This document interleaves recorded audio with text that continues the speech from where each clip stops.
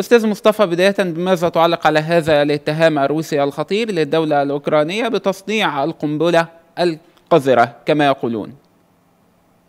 نعم لا شك أن تلك الأزمة الكبيرة التي حصلت لدى الجيش الروسي ولدى مكون يعني نحن نتحدث عن وزارة الدفاع والخلل الذي حاصل فيها ومطالبتها المستمرة بزيادة الدعم واستعانتها بالجانب الإيراني سواء كان على صعيد الصواريخ البالستية قصيرة المدى أو حتى على صعيد المسيرات كلها تلقي بظلالها على تلك الاتهامات.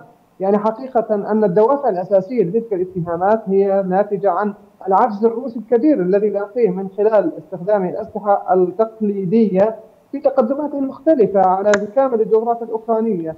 حقيقة الأمر أنا أعتقد بأن هي ذات البروباغندا الذي يستخدمها الجيش الروسي عندما اتهم أيضا منظمة الخوذ البيضاء في سوريا بأنها ستستخدم أسلحة كيميائية لاستهداف قوات النظام السوري وكل تلك الاتهامات أعتقد أنها لم لم تكن يعني بيوم من الأيام ستنطلي على الكثير من الدول المراقبة للملفات أو الملفات العالقة في العالم وإنما ربما قد يكون هناك استثمار لها من خلال يعني النظام الروسي يعني إنه في حال استخدم بعض القنابل التكتيكية قصيرة الم... يعني محدوده الانتشار ربما قد تساهم بشكل أو بآخر في عمليه اتهام الجانب الأوكراني. يعني بالنتيجة النهائية النظام الروسي يجهز الأرضية الخصبه من أجل استخدامه بعض أنواع القنابل التكتيكية التي من الممكن أن يكون لها تأثير يعني محدود في داخل الجغرافيا الأوكرانية. نظرا لأنه يعني هنالك خسارة كبيرة للنظام الأوكراني. يعني على صعيد المثال للحصر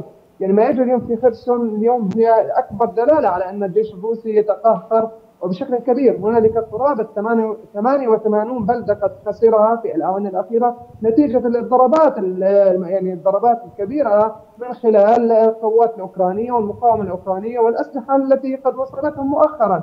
يعني هنالك خط امداد كبير يقوم به الجيش يعني القوات يعني الاتحاد الأوروبي وكذلك أيضا الدولة المملكة المتحدة بدعم الجيش الأوكراني من أجل وقف زحف الجيش الروسي تجاه هذه البلدات وأعتقد ان الاستراتيجية الأمريكية ما زالت واضحة المعالم في عملية يعني تصديها للجانب الروسي.